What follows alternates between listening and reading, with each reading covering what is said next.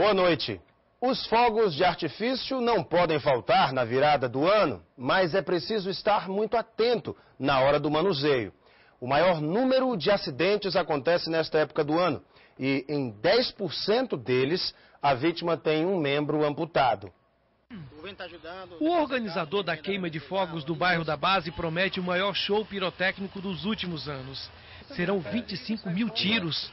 Para tantos fogos de artifício, existe uma preocupação especial com a segurança. Todo o material fica à margem do rio Acre para evitar a aproximação de curiosos.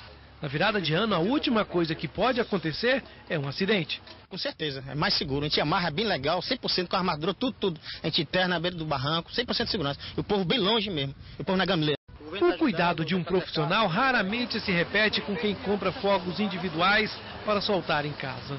De acordo com dados da Associação Brasileira de Cirurgia de Mão, o maior índice de acidentes com fogos acontece nas festas de final de ano. São centenas de casos de mutilações, lesões e queimaduras. Em 10% dos acidentes, a pessoa tem amputação de um membro. Os mais atingidos, homens e crianças.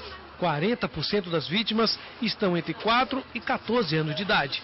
O Corpo de Bombeiros fiscaliza as queimas em grandes quantidades, mas é impossível frear as brincadeiras domésticas.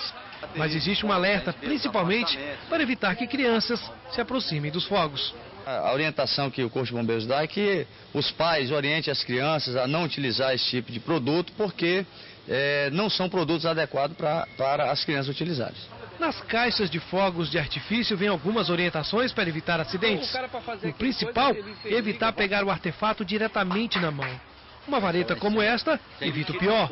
Nos fogos maiores, um cabo de vassoura pode ajudar.